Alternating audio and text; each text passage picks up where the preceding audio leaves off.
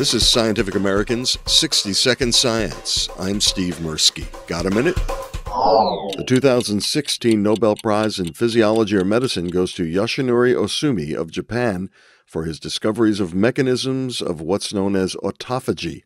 Break the word down and you get auto and phagy from the Greek for self, auto, and eating, phagein. So, self eating.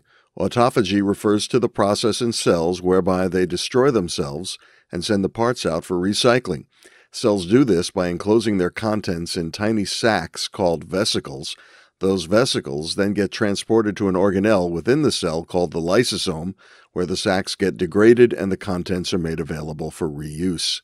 Autophagy had been observed a half century before Ohsumi's work in the 1990s while at the University of Tokyo. But it was his research that made clear its fundamental importance. He did that work with baker's yeast. One way he made his discoveries was to interfere with the process and thus see vesicles involved in autophagy start to build up. This action proved that yeast cells performed autophagy. He went on to identify 15 genes crucial for the process. Need quick fuel for energy? Autophagy makes that fuel available fast.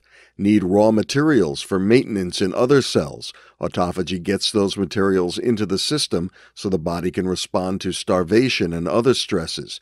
Infected? Autophagy plays a role in capturing and killing bacteria and viruses. It clears out damaged proteins and organelles, thus helping to fight the effects of aging.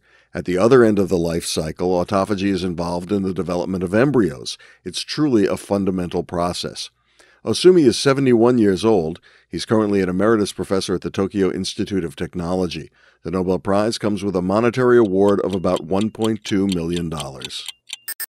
Thanks for the minute. For Scientific American's 60 Second Science, I'm Steve Mirsky.